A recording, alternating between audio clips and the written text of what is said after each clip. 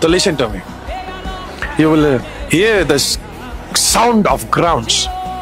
अब जल्दी sound of grounds को सुनेंगे. It simply means you will see the earthquakes.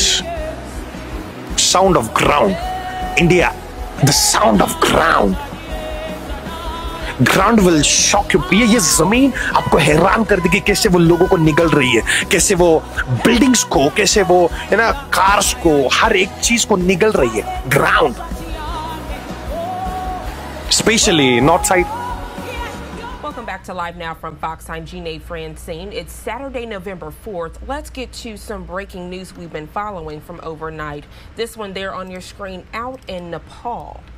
Helicopters and ground troops rushed to help people hurt in a strong earthquake that shook districts in northwestern Nepal just before midnight Friday. It killed at least 128 people and injured dozens more, according to officials at the Associated Press.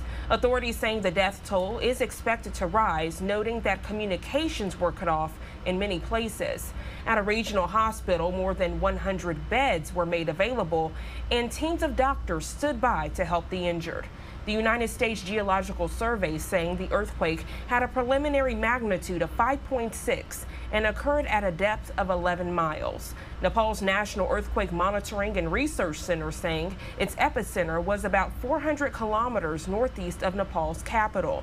As day broke this morning, rescued helicopters could be seen flying into the region to help out with security forces on the ground as they digged out the injured and dead from the rubble.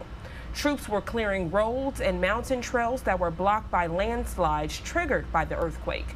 Helicopters flew in medical workers and medicines to the hospitals out there. Security officials are working with villagers all throughout the day and into the darkness, pulling the dead and injured from the fallen houses. Earthquakes are common in mountainous Nepal. A 7.8 magnitude earthquake back in 2015 killed some 9,000 people and damaged about 1 million structures. We do know at this time that neighboring India has offered to help in rescue efforts as the Indian Prime Minister has shared on social media that he was deeply saddened by the loss of lives and damage due to that earthquake in Nepal.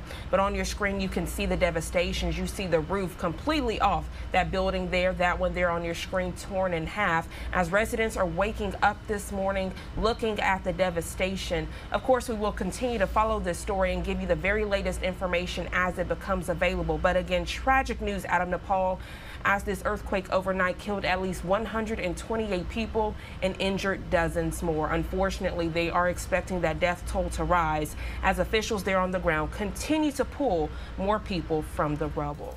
और इस वक्त एक बड़ी खबर आ रही है। Delhi NCR में भूकंप के तेज झटके महसूस किए गए हैं। आपको बता दें, ग्यारह बजकर पैंतीस मिनट पर भूकंप के तेज झटके पूरे दिल्ली एनसीआर में महसूस किए गए। काफ़ी देर तक ये भूकंप के झटके रहे। आपको बता दें, इसका केंद्र नेपाल बताया जा रहा है और भूकंप की तीव्रता पाँच दशमलव नौ बताई जा रही है। दिल्ली एनसीआर के कई घरों से लोग डर की वजह से बाहर निकल आए। और काफ़ी देर तक ये झटके महसूस किए गए हैं। हमारे साथ फ़ोन लाइन पर परिमल कुमार जुड़ेंगे। थोड़ी देर में आपको बता दें, दिल्ली एनसीआर में परिमल हमारे साथ जुड़ गए हैं।